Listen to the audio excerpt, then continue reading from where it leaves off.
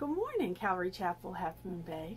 Good morning, children. How are you this fine morning? The sun is shining, a little chilly, but it's going to be a beautiful day. It is another beautiful day. And uh, if you remember last week, we studied about not being anxious or worried about our lives. Instead of being worried, we learned that we should turn our minds to the kingdom of God. And, and while it can be very easy and tempting to worry and be anxious about things like money or food or clothing or school, in this lesson, we're going to learn the reasons why we shouldn't worry. Can you tell us a little bit about our Bible story before we get going? Well, a little bit. Uh, we're going to study King Jehoshaphat. And he was the king of uh, Judea about 850 years before the birth of Christ. And he was a very, very religious king. He worshiped the Lord, he honored the Lord in everything he did. And what we're going to see in today's story is that three separate nations are coming to attack Judea and Jerusalem. And while Jehoshaphat became frightened when he first heard the news, what he did was go to the Lord in prayer and ask for guidance and for protection. And that's what we're going to study about today is how God will respond if we ask when we're fearful of things. And and we're going to learn about how thankfulness, how being thankful to God can defeat fear. Defeat, not just make it go away for a little while, but it can it can defeat it. It can crush our fears. It can it can erase our anxiety. And um, when we go to prayer in thankfulness, we can find that that helps us, that strengthens our faith and helps deepen our trust in God. The lessons we're going to learn about today related to how fear and thankfulness are related include how important it is to talk to the Lord about our fears. He doesn't look the God, God doesn't want us to be afraid, but he knows that we'll be tempted to be afraid and that our emotions will take over and we can get anxious about things. But he wants us to turn to him in those times. And when we do that, it's important that we remember the promises he has made to us. He loves us. He loves us. He doesn't want the people he loves to be afraid. He's our friend and he will provide for us and we'll be less fearful when we remember those promises. And when we're fearful or anxious, we also need to think about what God has already done for us, what Jesus did for us. He died for us for, to cover our sins so that we could be made right with God. And He'll continue to provide for us even when the times are kind of scary. Yes, because so, He promised us that He would always be with us. And the one thing we can always hold on to, God can never break a promise. It's not in his DNA, not in his personality. He'll never break a promise.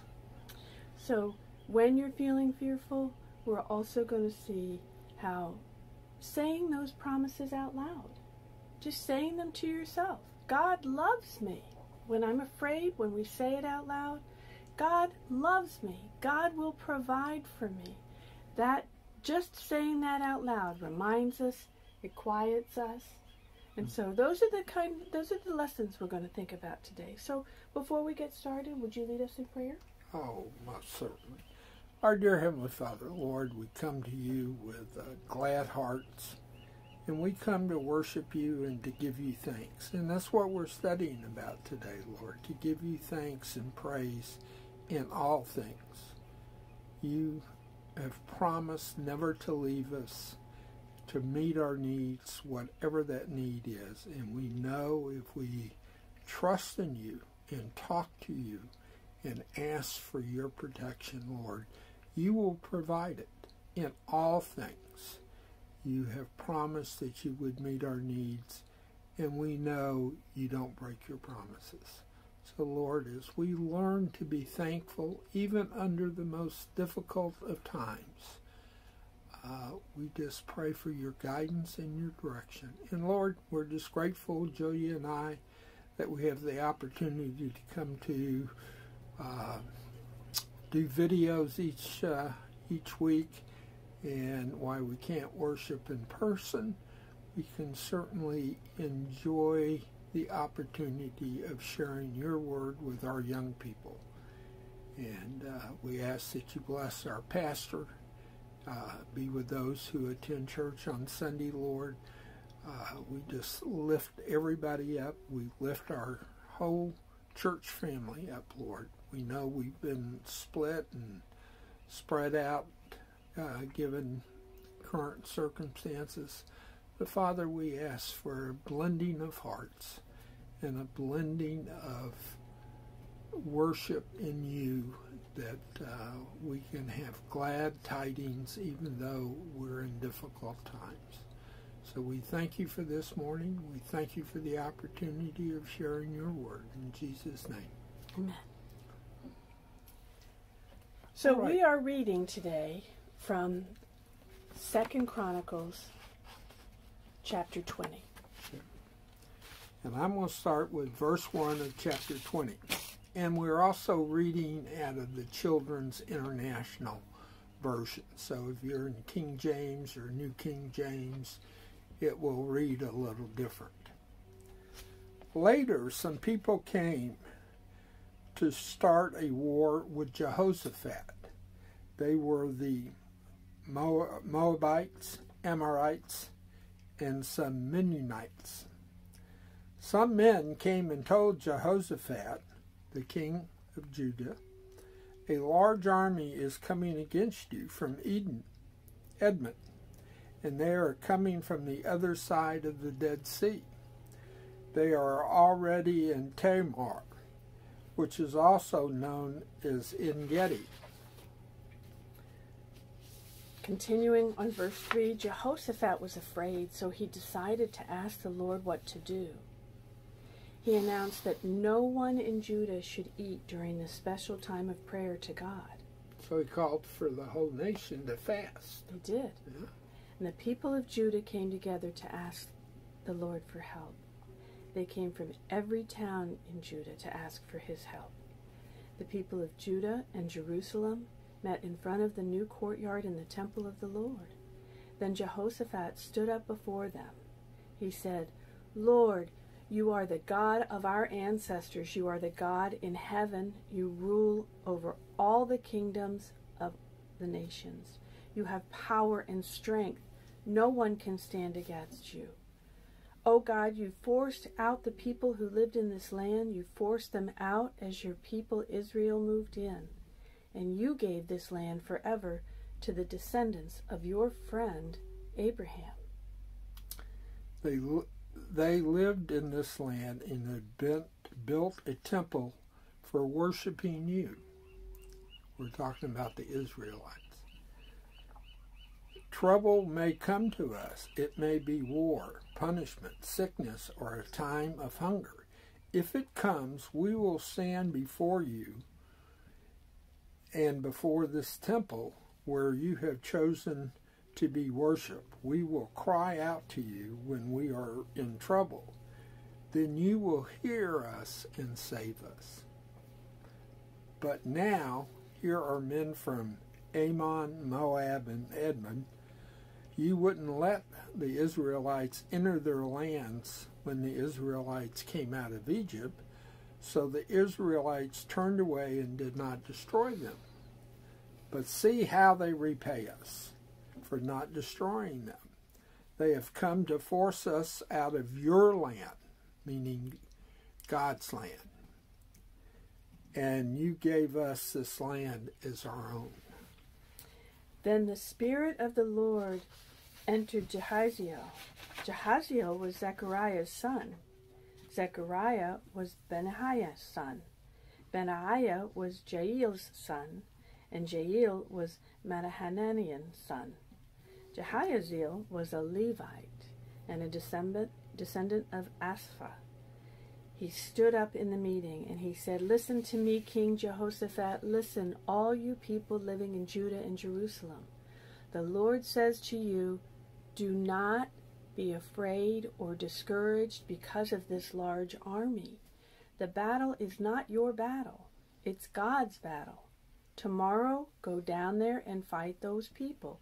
They will come up through the pass of Ziz. You will find them at the end of the ravine that leads to the desert of Jeruel. Continuing in verse 17, it says, You won't need to fight in this battle.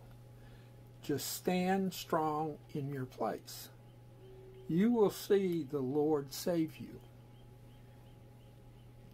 And Judea and Jerusalem, don't be afraid. Don't be discouraged. The Lord is with you. So go out against those people tomorrow. Jehoshaphat bowed his face to the ground, and all the people of Judea and Jerusalem bowed down before the Lord, and they worshipped him. Isn't it interesting? God is telling them they don't have to fight the battle. He's going to take care of everything. So Jehoshaphat's army went out into the desert of Tekoa early in the morning, and as they starting out, Jehoshaphat stood and said, Listen to me, people of Judah and Jerusalem. Have faith in your Lord your God, then you will stand strong.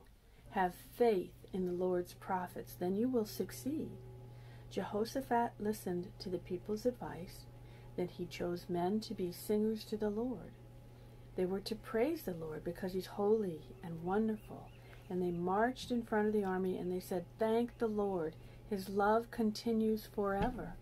And they began to sing and praise God. And the Lord set ambushes.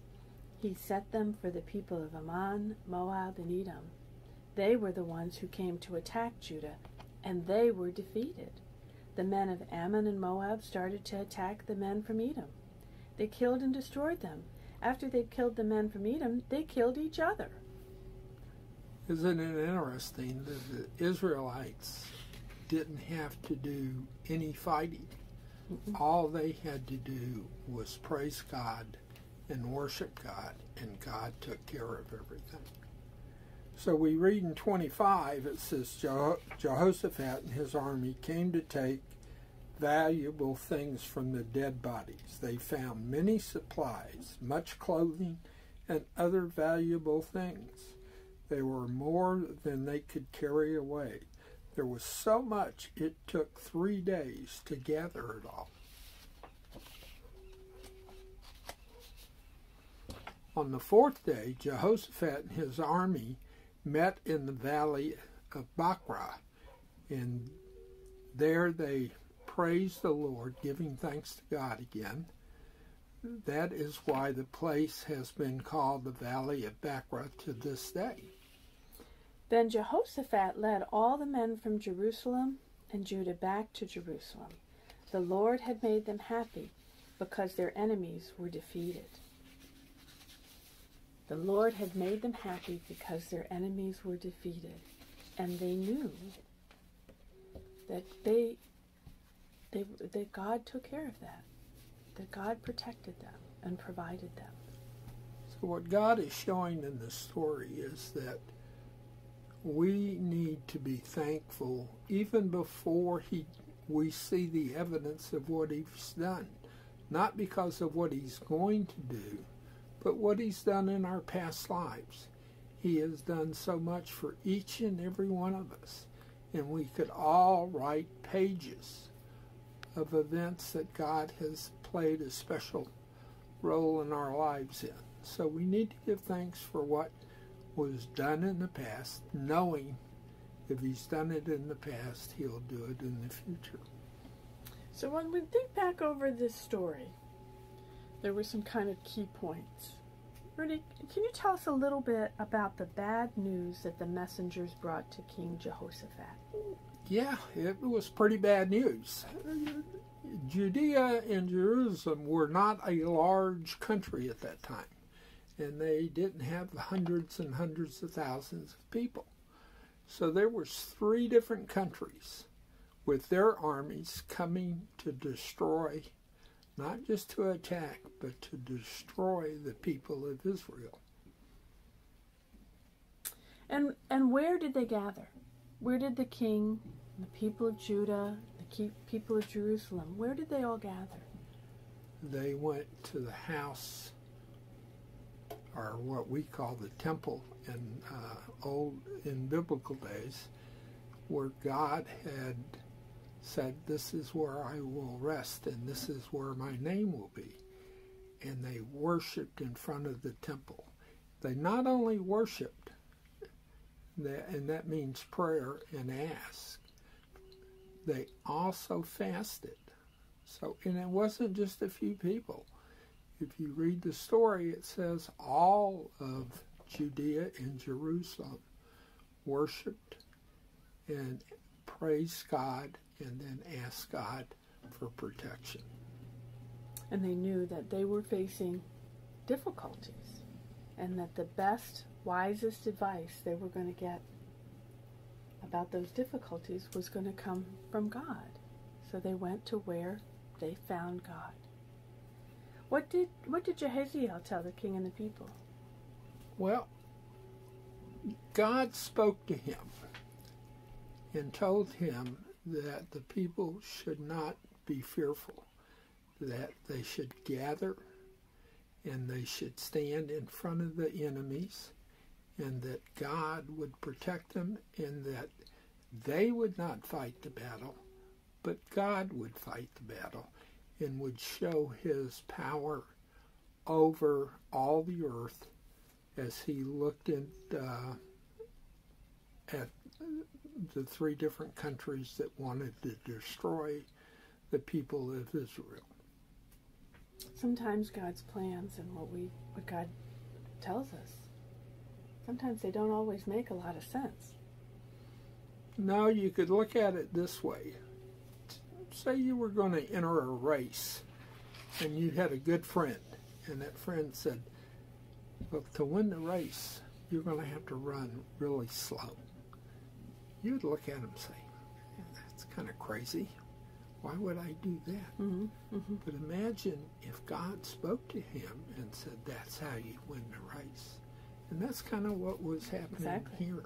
Exactly. They were told to go stand, sing, not to go draw swords and arrows, but stand in front of their enemies and sing and worship God, and that God would defeat him, the, uh, defeat the uh, enemy. And that's exactly what happened. So, who walked out, who marched out in the front of the army? it was singers, and the singers also included women and children. Not not the biggest soldiers, not the not cannons. The, no, no cannon, no big guys. They went it, out singing. What were they singing about? They were giving thanks for all that God had done already in their lives and asking for God's protection against the enemy and claiming victory. They were claiming that they've already won the battle because God said so, and they had faith in God. So they're walking out in the face of their enemies and they're singing, Thank the Lord. His love continues forever. Yes. So, what did God cause the three armies to do? Turn on each other. Two armies attacked one, and then the two surviving armies attacked each other and slaughtered each other. And imagine it took three whole days to gather up the spoils from the battle. So there was a lot of people who died in those three armies that it would take uh, the people of Israel three days just to gather the spoils. And that's and that's what they found after the, those three armies killed one another, and the people from Judea were safe, that they were able to find provisions, clothes, valuables. The, the spoils of war is what they're referred to as. And they were blessings to them who had their faith in God, who sang his praises, and left the whole situation in his hands for their guidance. And they, their prayer, remember their prayer as they were singing, was thank the Lord. Thank the Lord. His And love then- continues forever. Yep. And then on the fourth day, they just didn't go back home with all their spoils from the battle. On the fourth day, the entire nation again went and worshiped God and gave thanks. And we must always have a thankful heart for when God wins all these small victories for us every day in our lives. We need just to be thankful to our Lord and have faith that no matter what we come up against, He is there with us. Amen. Amen. So I'll close in prayer. I want you to remember that no matter how hard things get, we have pandemic, we are not able to go to the places we want to go to all the time right now. We have some very difficult political conversations going on in our country. Our world is topsy turvy. And no matter how difficult or strange all of this gets, our response is to thank God for his many blessings and ask for his continued protection. So let's pray. Dear Heavenly Father, we thank you for this beautiful day. We thank you for the Bible that you've given us to learn from.